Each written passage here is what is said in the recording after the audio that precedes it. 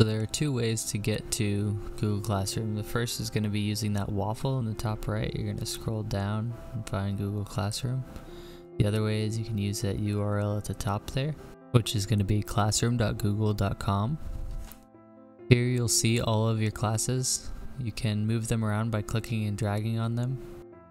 If you'd like to move, copy, edit, or archive them, you can click the hamburger menu in the top right. To access your class, just click on it. Here you can see you have a class. You can change your theme by going to select theme and browsing to different categories to find what you'd like. You can also create your own theme by selecting upload photo and choosing your own picture.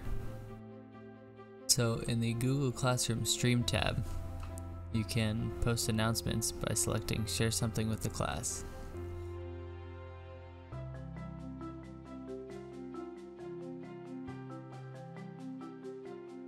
You can also add a file from Google Drive, a link, a file from your computer, or a YouTube video. You can now post the announcement by pressing post, or if you click the arrow, you can also schedule it for later, or save it as a draft. You can also reuse previous announcements by pressing that re refresh button on the right side and selecting the one you want to repost.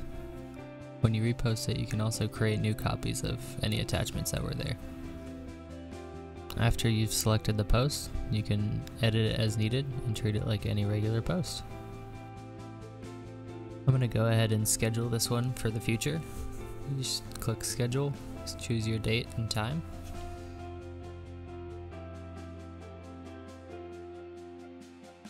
And then click schedule.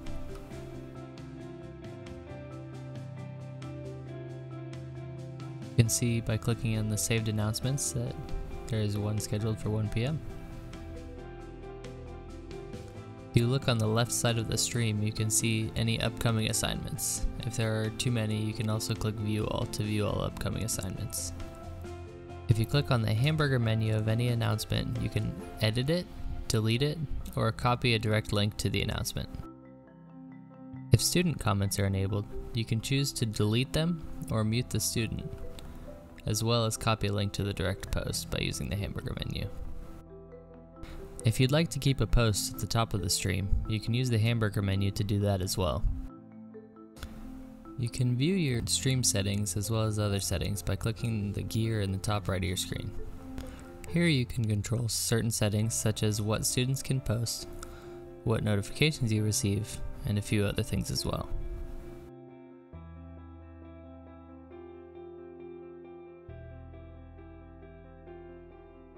You can also determine how your grades are calculated, whether or not students see their grades, as well as create grade categories. Thanks for watching!